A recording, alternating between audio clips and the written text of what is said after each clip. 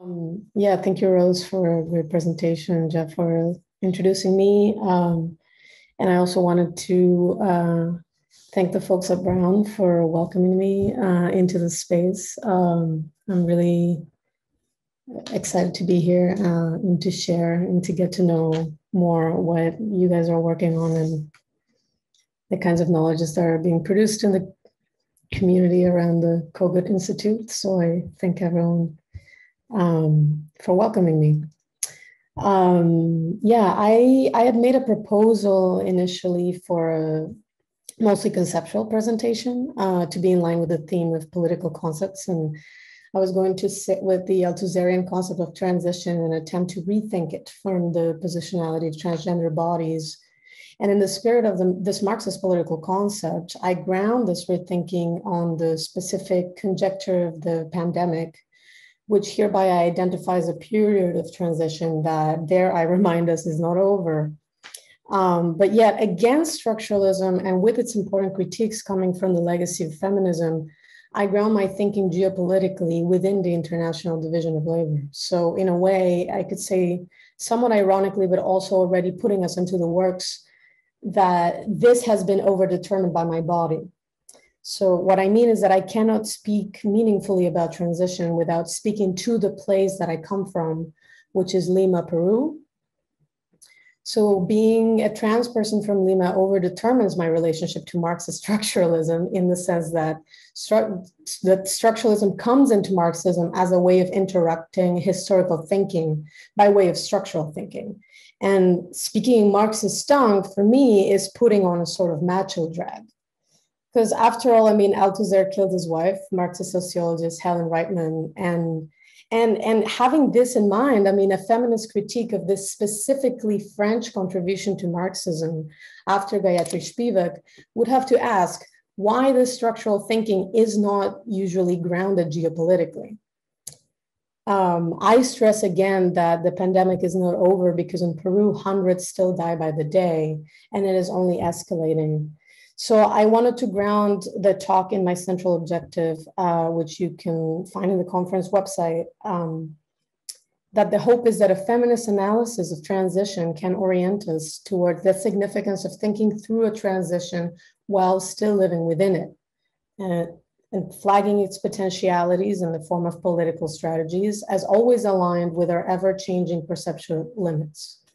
Um, so acknowledgement of our perceptual limits is important here. And here I want to start with a video that was taken by a Peruvian police officer during the first lockdown in April. Now we're in the fourth lockdown, just for you to have an idea. Uh, under the former president, Martin Vizcarra, who got impeached last year and who followed Pedro Pablo Kuczynski's impeachment the year before, a story I save for another time. Um, he implanted a measure of gender apartheid in public space with the dangerously naive intention of reducing the number of people in the streets. So, specifically, weekdays were divided in two so that each of the two genders could circulate separately. Mondays, Wednesdays, and Fridays were for men, and Tuesdays, Thursdays, and Saturdays for women.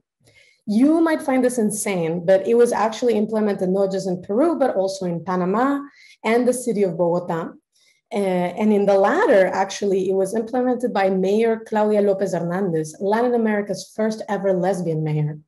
So, so much, at least out, no? So, so much for representation. Um, but the video I'm about to show, uh, and this is functions as a bit of a content warning as well, uh, is of three trans women that were taken to the commissary by the police for circulating on the wrong day. I remind you that there is still no law that allows someone to change their gender on their legal documents and no law protecting trans people in general. Um, this video went viral and I choose to show it through the account of Feminas Peru, a trans women-led NGO so that you're aware they exist. And in the video, the policemen are harassing them, not touching them, but making them squat and repeat after them, I want to be a man, quiero ser un hombre. So these are officials of national security who are 85.5 responsible for the violence towards trans women, according to the survey conducted by the NGO formerly known as No Tengo Miedo. Uh, during the pandemic, they changed their name to Rosa Rabiosa, a story that also say for another time. Um, so I'm going to share the video here. It's very short.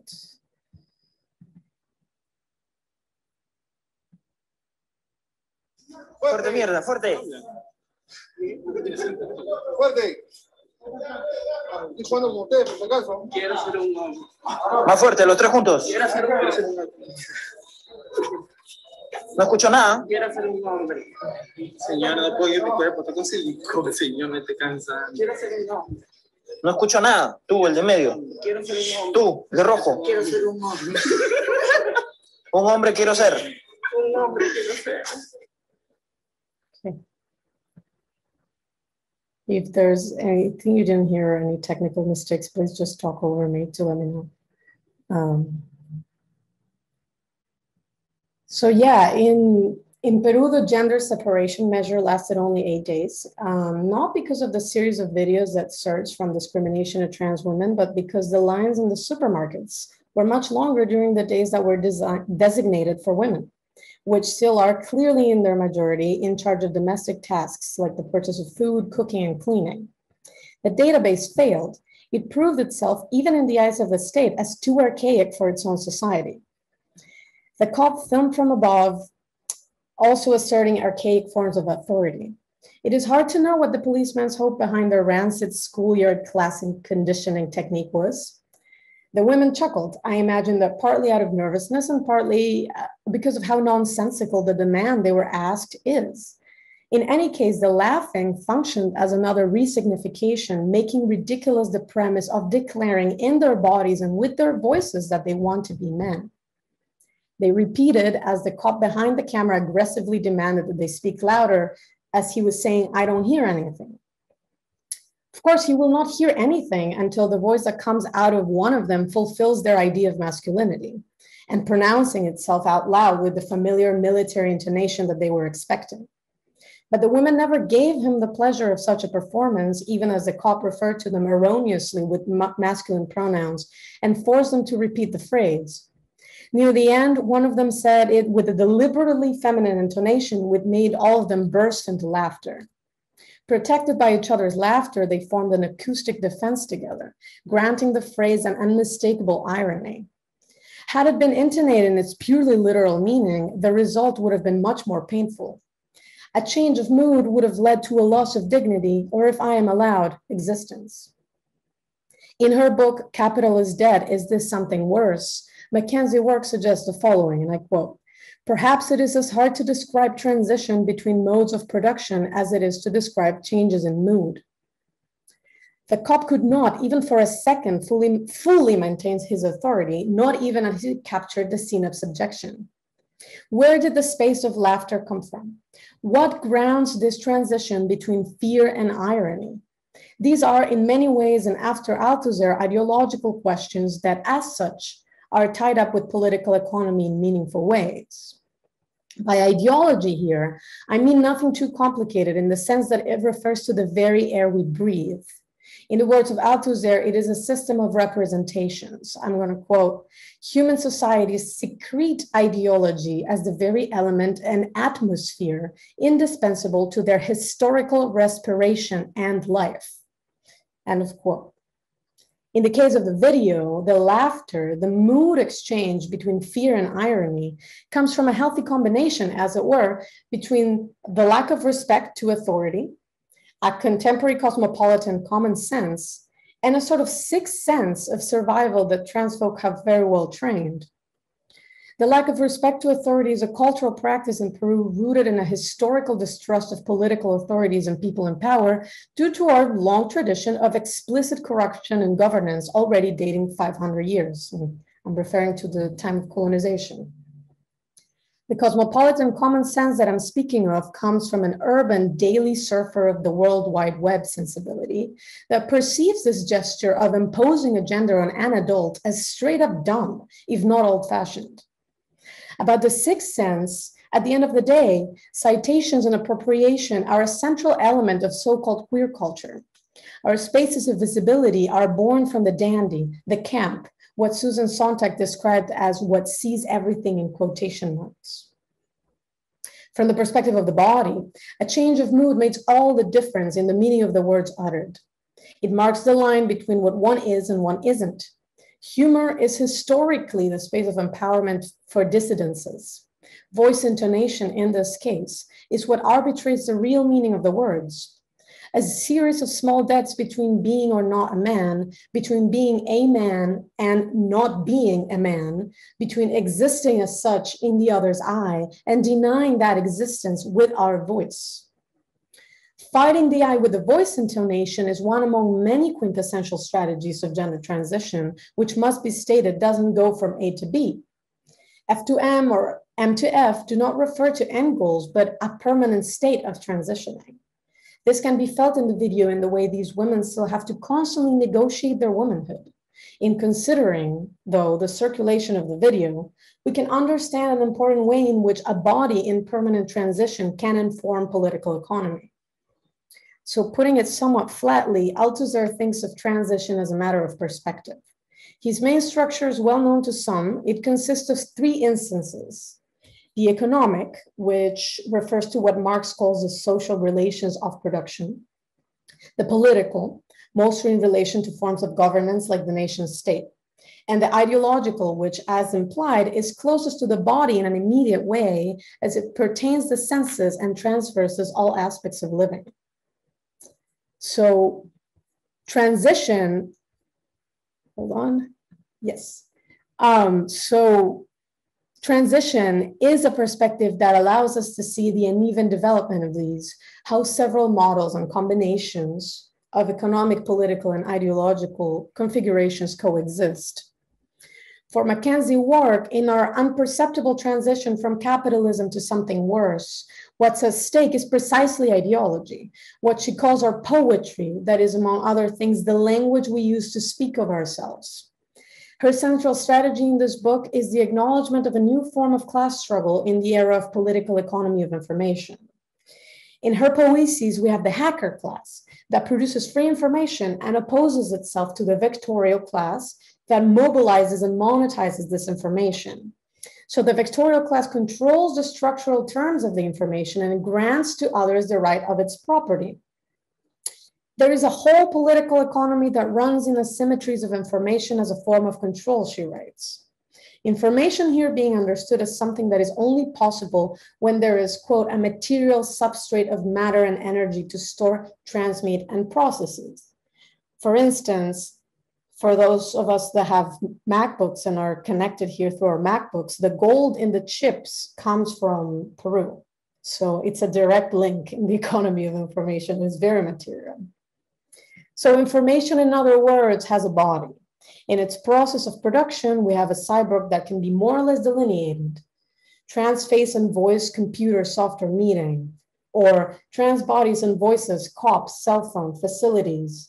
The circulation of this information is a constant reincorporation to the ultimate point of abstraction, which is data. That is more or less when information becomes property. A series of reincorporations separate the two classes, the hacker from the vector. Class identity gets recentered as a relation not with work, but with property. In this case, for most of us, it, it is the case for most of us that our body gets transfigured into data, but only a few are the owners of this data. Therefore, only they can mobilize it to their pleasing, at least to a certain extent, configuring it, selling it to the highest bidder, be it a corporation or a state. Some bodies endure this process of transfiguration into data better than others, or else only some have the privilege of feeling represented. Most of us don't know who or what manipulates our information or how exactly it is processed towards a certain database. We don't know how they see and catalog us, what filters distill us, nor what parts of us go unnoticed. This matters little at the time of feedback, that is, the moment where the database get reflected back into our lives in the form of necropolitics. Because biopolitics, the biopolitics of some is at bottom the necropolitics of others. How many have been killed in the name of the common good? The National Police Peru affirmed on Twitter that the two officers responsible for the video were separated for serious misconduct. This, I assert, is not out of the goodwill of the police or the state. The policemen were punished not because they harassed trans women, but because they filmed it. they were punished for circulating information that clearly did not belong to them, even if, according to some, they were the authors. In our economy of information, the base strategy of the vectorial class is to dissociate authorship from property as work rights. If you are getting your media for free, this usually means that you are the product. If the information is not being sold to you, then it is you who are being sold. If the channels of circulation fail the police, this is because the infrastructure of communication escapes the state. The Peruvian state, which gave the police by law the power to catalog bodies in the street and mobilize them as property, was not counting with the supralegality of the vectorial class. The power of the vectorial class overflows the state, since we are talking about a cosmopolitan network by excellence that knows no borders nor demands them, existing thus above the law. What they inhabit is actually a wild zone of power, in the words of Susan Buck-Morss, which is intrinsic to the democracy of masses. What we think of as the democratization of information then is actually the commodification of existence. How could the Peruvian state ever compete with Facebook or Twitter? The casual alliance between the movements for trans rights and the state run justice system, because the policemen were fired after all, can be taken to a critique of visibility, or more explicitly, what Tourmaline, Eric A. Stanley, and Johanna Burton call the fundamental paradox of representation. Visibility and violence go hand in hand, or else the struggle for visibility and the struggle against brutality, police or otherwise, are inextricable from one another in a transgender body. The binary visibility, invisibility is grounded in the eye of capital. The eye of capital, or to give it more embodiment, the eye of patriarchy, that which sees the world from the perspective of hegemonic masculinity, a specific kind of masculinity that, with Sylvia Wynter, has historically enjoyed overrepresentation.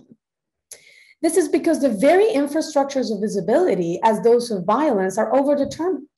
It's all being surveilled, but totally misread. Ours is the steering power, but only when realizing what our real alliances are.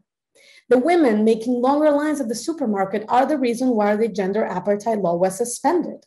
This prevented many trans women from getting harassed by the police and proved that the fight for trans rights is deeply linked with women's rights. Analogously, the hypervisibility or excessive and excessive violence towards trans women is also bound to the invisibility of trans men. The database of the state has no numbers on trans men whatsoever. The patriarchal eye only knows how to see a particular construction of the women. For the remainder of my time here, I want to put visibility in suspension by considering one last image. The image I will close with comes from the catalog of an exhibition that opened for only three days at the Museum of the Universidad San Marcos, the largest public university in the country and oldest in the continent. Titled This Too Shall Pass, the exhibition is of a series of photos by Sandra Salazar, a Peruvian artist mostly known for his paintings and drawings. The photos span three years and were made in collaboration with five other trans guys from Lima. The one pictured is from a series titled Dairon. In it, we see Dairon on a bed wearing an open button down shirt and with no pants with his legs spread open with Salazar's canvas acting as a background. I bring attention to the show because of its transgressiveness. Nothing like this has ever been shown by any art institution in the country, much less a public university. The museum actually decided to not reopen the show ever, using the pandemic as their excuse. The only trace left of such an attempt at the occupation of public space in the form of self presentation of trans masculinities is the cuadernillo, where the image can be found and from which I screenshotted it. So now I'm going to share my screen. Um, this is this is Dairon. I'm gonna, for the sake of time, Sharing is, oh, okay, good. So I'm to stop sharing now. Um, it is still an open question whether the museum does not want to take responsibility for the images or whether it is just indifference. As much as it remains a question whether you could see Dairon's genitals or not, or whether you saw them as such. For trans guys, the enhanced clitoris can be a familiar sight.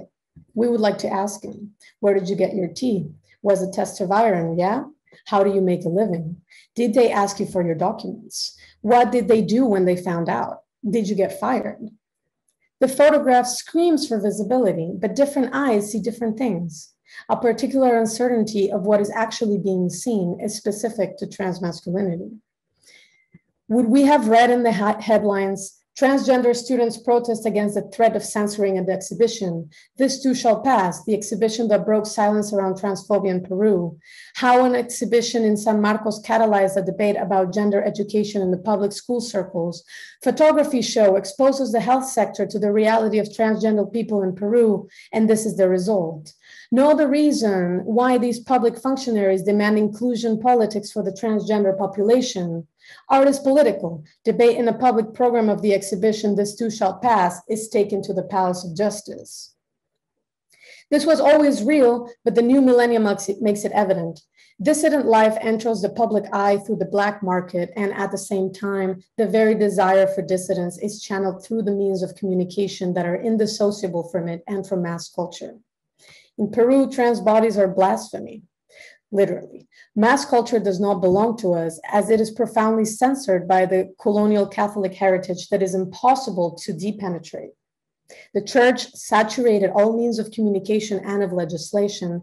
And at the end of the day, the market is one more channel for respiration. And paradoxically, it is often the only means of resistance. What transmissibility in the hands of trans people in Peru communicates here is the irreducible informality of the transition, because it is there in the informal market where our invisible minority survives through silent alliances with the majority of the country. This apparent benefit of the flux of subalternity is nevertheless knotted up with a socioeconomic structure that is profoundly paralyzed. Transition is normally associated with mobility, but being transgender in Peru presupposes a class stagnation. For the privileged classes, being trans is betrayal, a renunciation letter. For the working classes, it means losing your job and dramatically increasing your risk of death. Statistics are only missing, but it is not a secret that many transgender women live from sex work and now in the pandemic donations. And that trans men that pass as cis constantly look for ways of being hired without getting their IDs checked. Being non-binary, yeah. But uh, we'll have to wrap up shortly. So if you yeah, could, I have one. Thank you. Um,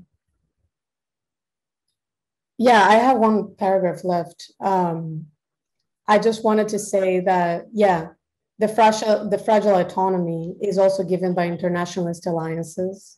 And our current practice of gender dissidence is indissociable from the infrastructure of the internet the monopoly of US based media companies and the visibility forward content produced by the US empire. Um, and US imperialism in general is something that all Peruvian dissidents must position themselves in relation to. And many, um, and so in many ways, I wanted to conclude with a series of links uh, that you can choose to donate to. Um, these are three trans folks that are active in the circles. Um, and their PayPal's. Um, I don't know how to panelists and attendees. I'm just sharing their um, donation links. Thank you.